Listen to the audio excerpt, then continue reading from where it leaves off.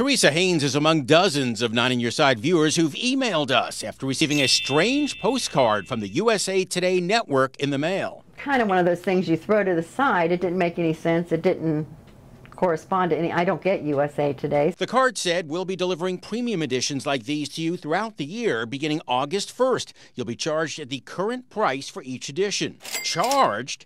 That's when Teresa looked at the Nextdoor social media site and found who was really behind it. It is actually from the Cincinnati Enquirer.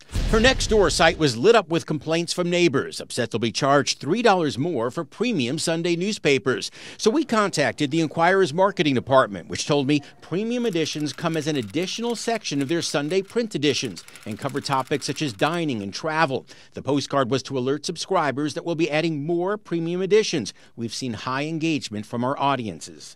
But Teresa says the postcard is not forthcoming. Says USA Today. It does not say Cincinnati Enquirer anywhere on the postcard.